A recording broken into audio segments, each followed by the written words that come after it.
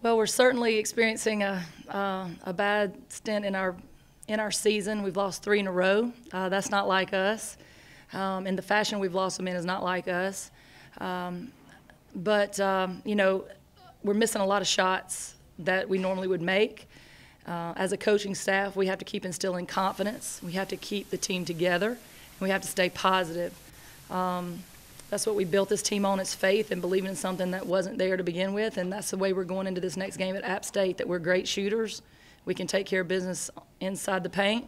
And that's how we're going to approach the game the day after tomorrow here in Trojan Arena. During the course of the season, do, uh, do stretches like these kind of wake up the team and say, hey, you, you, you don't have it all together yet, there's still stuff to work on? Yes, trust me. I mean, we're we're three o'clock in the morning scratching our head watching film, texting coaches, texting each other.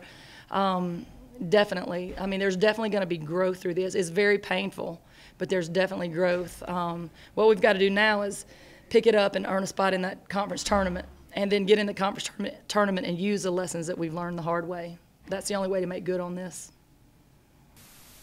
Anything particularly defensively that, that, that kind of slowed you through the whole game? I know you had the rough start, but then still, buy three if you, if you wanted to, and then uh, Yeah. a couple of inside We, cou- baskets. we couldn't score inside or outside. It seemed like I, I think we shot 27% in the first half. That might be one of the lowest points of our season. But, um, you know, defensively, they did a good job. They have solid players. They have a very good coach.